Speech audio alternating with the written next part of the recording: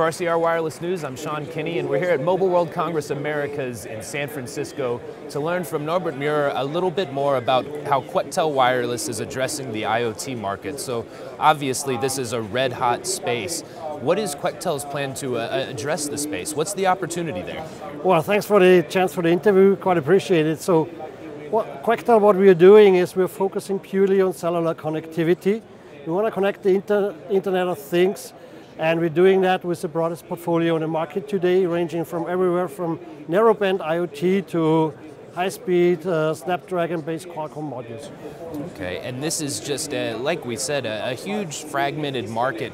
What really helps Quectel stand out? What's your core competitive differentiator? Well, where we're standing out, that relative to our other competitors, we're focusing purely on cellular connected modules, so we're not distracted in our strategy by any kind of services approach, recurring revenues, nothing like that. Our focus is crisp and sharp and clear. It's cellular modules and we do it very well. We have a huge R&D base in China. We are today shipping 36 million modules annually and with that we're going to be the market share leader in units this year already. You mentioned LTE-M connectivity. In the US, uh, Verizon and AT&T are very much focused on that. Can you tell us a little bit more about how Quectel is addressing LTE-M? Yeah, of course, the US is very big now on LTE-M. Both carriers, all the carriers here actually are, as are carriers across, across the globe. So we're addressing that uh, segment with our BG96. It's a globally approved module. We got the US approvals there as well. Not only do we have that, that module, we have various flavors of that with fallback solutions and on.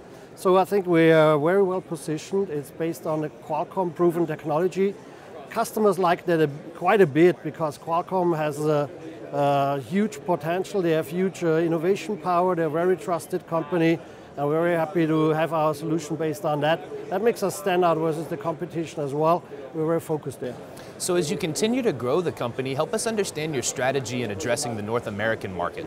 Well, our strategy actually is very simple. Number one, like I said, we're very focused. We're focused to cellular modules.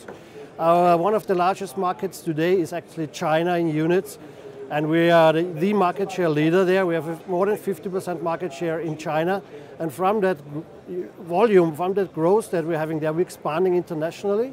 We have a very strong sales force in Europe already, and now we're expanding heavily in, into the US, building up forces here.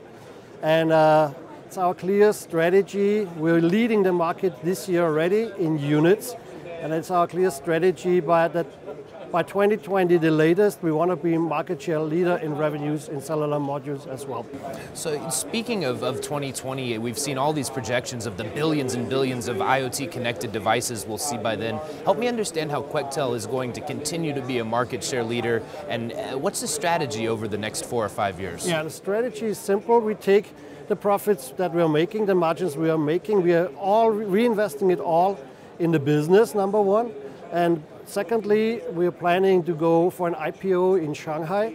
And this IPO in Shanghai will deliver nice cash flows back into the company, which we're going to use again to invest in development, in sales, in field support, everything that's centric around cellular modules, centric to our customers being satisfied, centric to being innovation leader in the market.